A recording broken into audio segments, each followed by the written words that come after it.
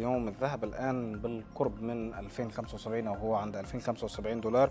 هذه مستويات مقاومة مهمة لأنه ارتد منها حول الوصول إليها في ديسمبر وارتد منها. مهم أن نراقبها وعلى ما يبدو أن الذهب في طريقه أيضا لتسجيل مستوى قياسي جديد إذا كانت الحالة هي كذلك. كنا تحدثنا خلال الأيام الماضية ب يعني مع مع منذ ديسمبر اليوم ويعني منذ أن كان الذهب وصل إلى 2149 وعاد إلى هذه الحركة العرضية أنه ما يحرك الذهب الآن هو توقعات معدلات الفائدة وأنه طالما الأسواق أعادت تقييم الأمور فيما يتعلق بخفض الفوائد وكنا بدأنا العام بتوقعات ست مرات خفض وتغيرت الفكرة طالما أن الأسواق تغيرت فالذهب بحاجة إلى محفز. اليوم ما, هو هذا المحفز؟ عوائد السندات تتراجع الدولار يتراجع لكن على مستوى البيانات الاقتصادية ما زال التضخم في مستوياته يعني القراءة الأخيرة لل PCE هو المؤشر المفضل للفدرالي لقياس التضخم لم تأتي بجديد يعني لم يكن فيها أي مفاجآت سارة ولا حتى سلبية بالنسبة للذهب لكن على ما يبدو أن هناك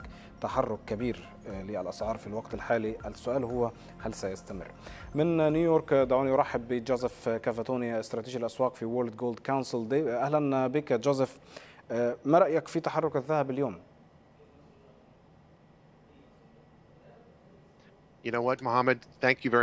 شكرا. لك محمد مساء. الخير Uh, حسب ما نراه اليوم هو. بالضبط ما كنا نتوقعه مضاربات حول خفض الفائدة والأسواق تتحرك حسب.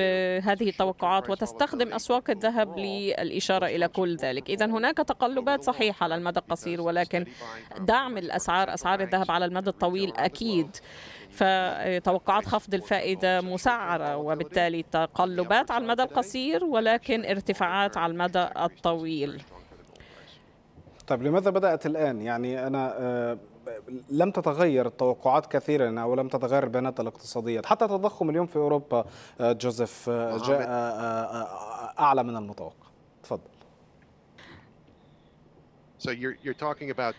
إذا أنت تتحدث عن سوق النفط وسوق الذهب. المضاربون هم من يحركون الأسعار على المدى القصير وبالتالي الذهب هو من يستفيد من هذه النشاطات نشاطات المضاربة. ولكن ما زالت هناك تقلبات على المدى القصير بسبب هذه المضاربات أو speculations. إذا ردة الفعل اليوم هي للأرقام التي صدرت في الولايات المتحدة. الناس تتحرك حسب النظرة الطويلة بشأن خفض الفائدة وتأخذ مراكزها بناء على ذلك من بيع أو شراء. وبالتالي في العام الماضي كانت هناك بيانات قوية عن الذهب. الناس يريدون الانتباه للمدى الطويل أكثر من المدى القصير لأنه على المدى الطويل هناك طلب عالمي قوي.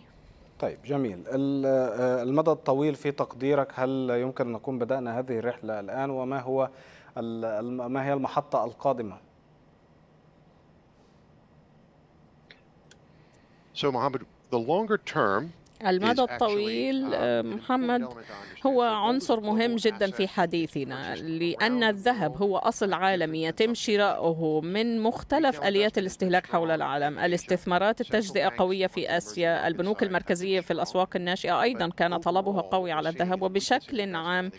آه، هناك بعض الضعف الاستثمار. وهذا بدأ يتشكل الآن بشأن وضوح خفض الفائدة في الولايات المتحدة وهذا سيستمر في تسبب بتقلبات على المدى القصير وهذا سوف يأتي برياح معاكسة. ولكن ما بدأ الآن هو وضوح في الصورة بشأن التضخم الذي تديره الولايات المتحدة بشكل جيد والاحتياطي الفيدرالي وهذا بدأ ربما في آخر 2023 وسنرى هذا يتطور ويتضح أكثر هذه الفترة. إذا مرة أخرى نمو الطلب على الذهب في المدى الطويل أمر أكيد. والبنوك المركزية في الأسواق الناشئة تزيد من احتياطها من الذهب وبالتالي ارتفاع الاستهلاك ارتفاع الطلب. وما بدأ بالتعافي الصين بدأت بالتعافي طبعا الآن بعد جائحة كوفيد. سترى مسار صاعد للذهب وهذا كان حادث أصلا في العامين الماضيين ولكن التقلبات على المدى القصير تذكر ذلك.